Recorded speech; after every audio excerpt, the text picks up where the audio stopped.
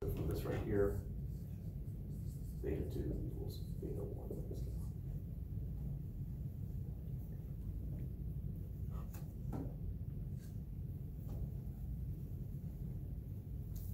We're now gonna take, do it with the other set of equations that we haven't manipulated yet. We're going to take five and six and plug it into uh, four.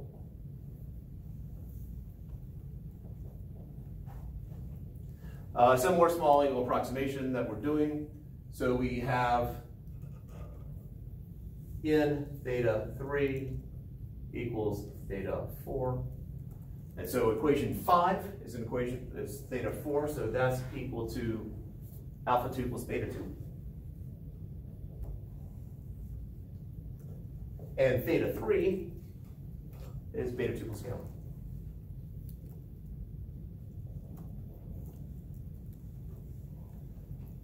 And no doubt you can see where this is going. The excitement is building.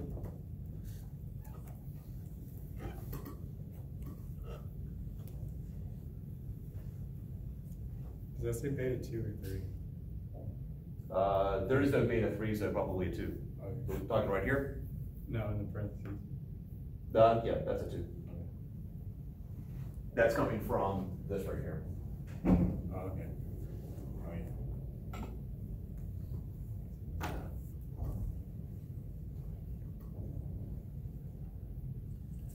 All right, I now have these two equations and I want to combine them somehow. So what I'm going to do is I'm going to solve, I'm going to go ahead and distribute here. So this is n beta 1 minus n gamma. And then I'm going to solve for n gamma.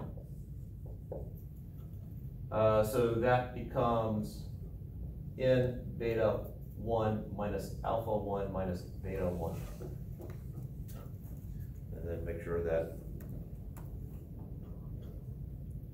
Okay. Down here, I'm gonna go ahead and distribute over here. So that's n beta two plus n gamma. And hey, I now have a formula for n gamma. I'll plug that straight into there.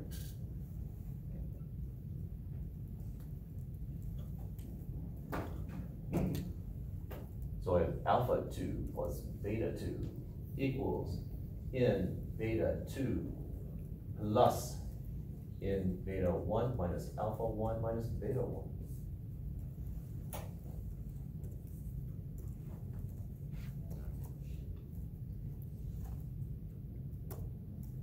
Again, just making sure I don't have a sign in the wrong spot and have to backtrack. All right, we're good there.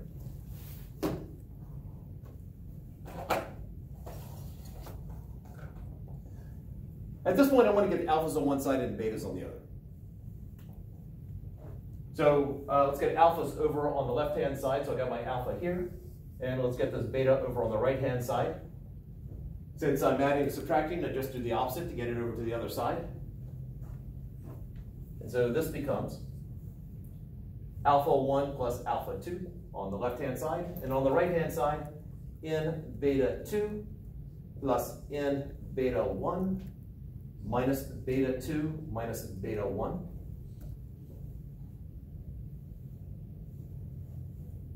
Rearranging a little bit, we got n beta 2 minus beta 2 plus n beta 1 minus beta 1. Doing a little factoring here, I can factor parts of that and parts of that. So that's beta 2 n minus 1 plus, over here, beta 1 n minus 1. Which can then be factored one more time, as in beta 2 plus beta 1 times n minus 1. So that huge mess comes down to this, this somewhat simplified formula here.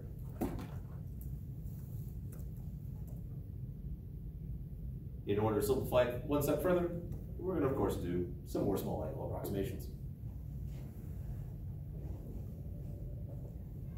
And it's not unreasonable to do that because if you think about images going through a lens, you know, think about your eyesight for the couple of us who wear glasses here, that we're looking at things far away. I'm not looking using my lens to look at something that's this close.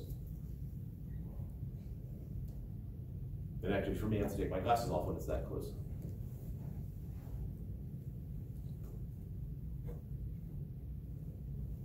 Questions before we near the end? And I know it's going to be a sad moment when we finally finish with the derivation. But we need to do it.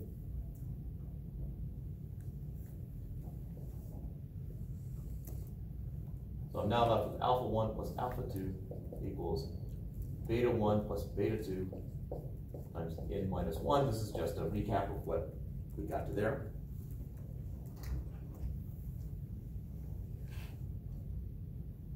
All right, so uh, we don't need the original formulas anymore.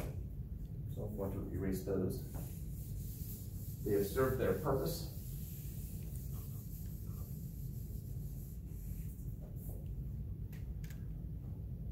All right, so let's take a look at this right triangle. This from P to A and then straight down and over. So we're basically having a right triangle there. Let's see if I can highlight it in pink that hopefully will show up here. So we're looking at this triangle right here. That is a right angle there.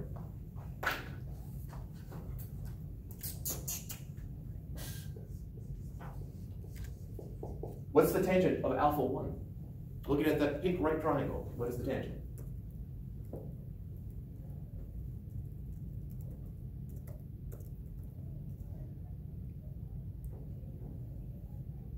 H1 over D0? Yep. And if indeed this is a small angle here, we're dealing with an object that's far enough away, that's approximately equal to alpha 1 using the small angle approximation convenient. So we can make a substitution down here. The tangent of alpha 2, looking at, we'll do the other, sure, why not? Let's do pink again.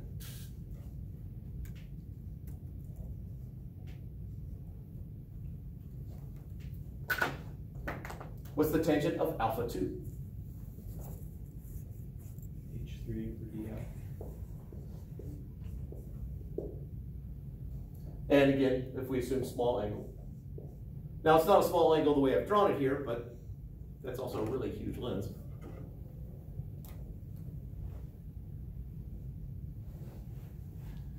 If, yep, one more approximation. If the lens is thin enough,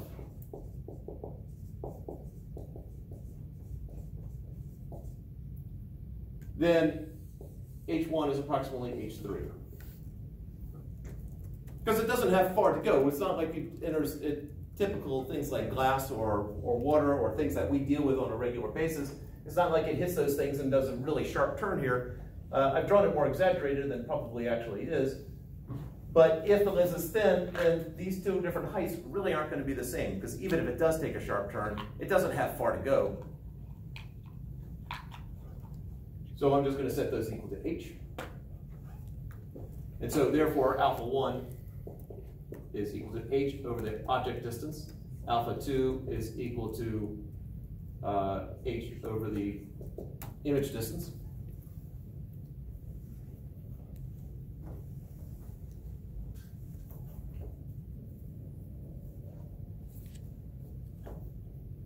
We're going to do a similar process, except we need to somehow bring in the, the radii.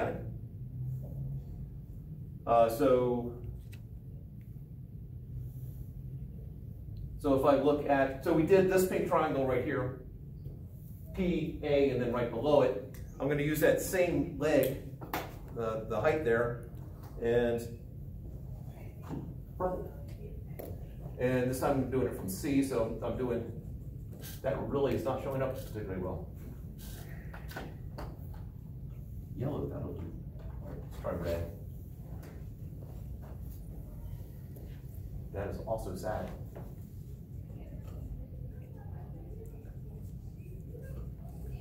So looking at that new pinkish triangle.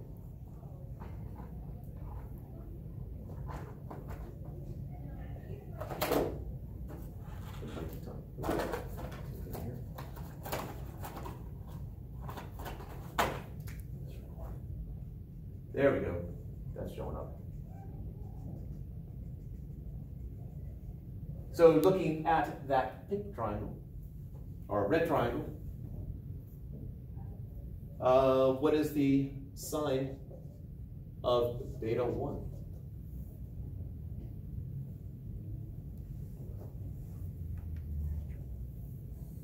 H one over R one.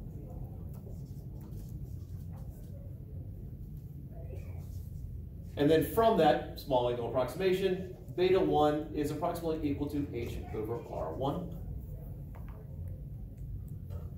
Uh, doing the other triangle here, where from this red triangle, from E to D to H3.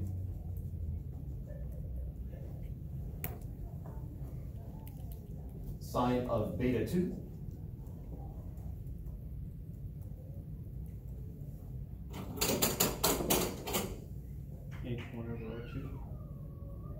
Say it again? H1 over R2. Not H1. Um, H3. Okay. Unless, of course, you're going with, they're roughly the same, so, but officially, H3 over R2, which is beta 2 is approximately H over R2. We're now ready to plug into here. So I have H over the object distance plus H over the image distance equals H over R1 plus H over R2 times n minus 1. Every term's going to have an h if we multiply it all out, so h goes away, and what we are finally left with in the end is 1 over the object distance plus 1 over the image distance. Now, if we're dealing with focal length, that would be equal to 1 over the focal length, but that's equal to 1 over r1 plus 1 over r2 times n minus 1. And that is the Lensmaker's equation. The only difference between this and the book version of it is the book uses P for the object distance and uses Q for the image distance.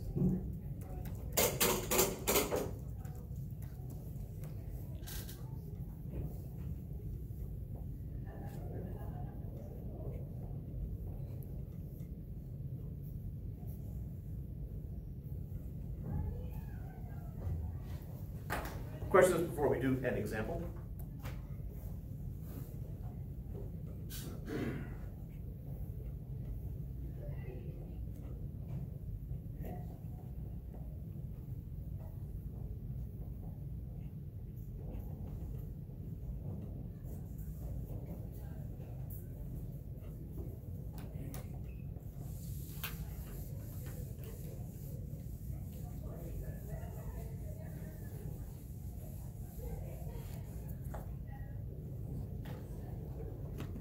As an example for this, uh, I want to do problem, because it's thirty-six point thirty-three.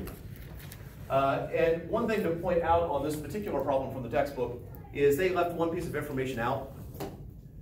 They now talk about what the material is that the lens is going into. Uh, the problem as stated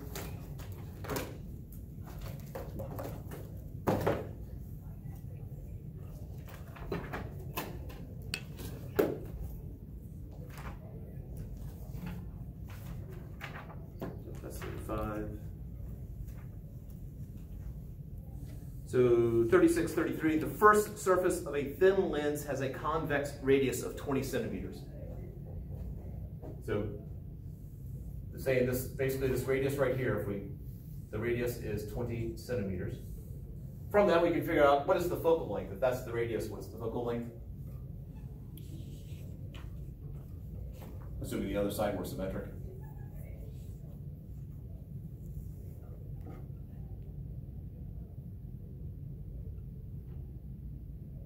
What's the relationship between radius of curvature and focal length? For a thin lens. They're the same. Pardon? They're the same. They are not.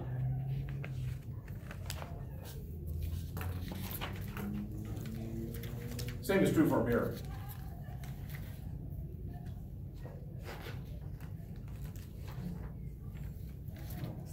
A few times the focal length? Yes. So the focal length would be other way. Oh, 10. The- Yeah, ten centimeters. Focal length is halfway between the Oh. radius and the curve. All right, so they tell us the first side is twenty centimeters. Uh, what should the radius of the second surface be to produce a converging lens of focal length eight centimeters? Um, so we want a focal length total of eight centimeters, so what does this side need to be? Well, I know one over the object distance plus one over the image distance is equal to one over the focal length. And one over the object distance plus one over the image distance is equal to n minus one times one over R1 plus one over R2. The lens maker's formula or equation, I think I flip back and forth between what I call it. So we want this to be eight centimeters, so one over eight is equal to one point five minus one. Uh, it does need to be one point five, they don't state that in the problem, but that's the way that you get the answer they give. One over twenty plus one over R two. And so now it's a math problem solving for R two. So this becomes one eighth is equal to 0.5 times one twentieth plus one over R two. Divide both sides by 0.5, and we get 0.25 equals 0.05 plus one over R two. Subtract, so one over R two is equal to one over, uh, sorry, is equal to 0.2, otherwise known as one fifth. So R two would be five centimeters.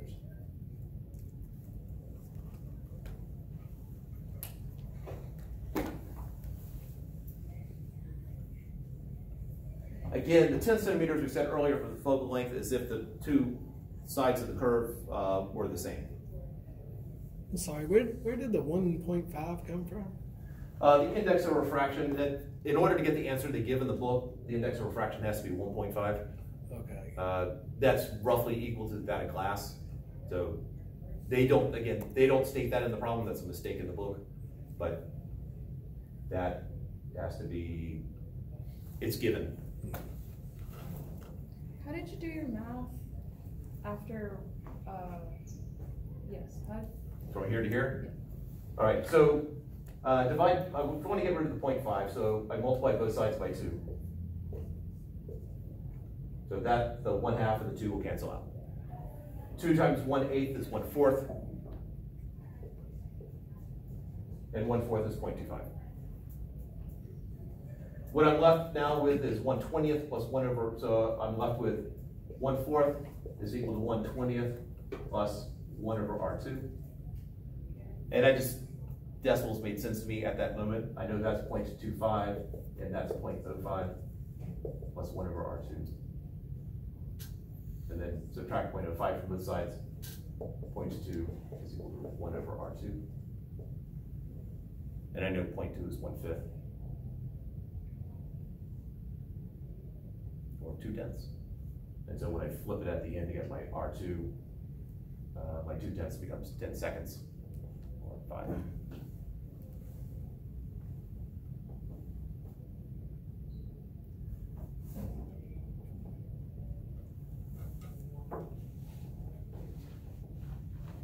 Other questions in the remaining however many seconds we have?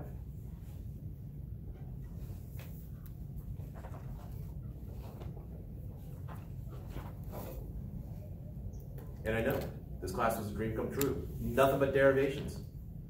Yes. Perhaps we'll do it again sometime.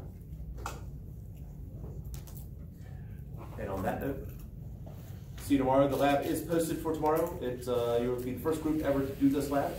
Uh, so we look forward to the experiment being an experiment. You're gonna basically be doing is, for the large mirror right there, four different ways of finding the radius of curvature of that large mirror.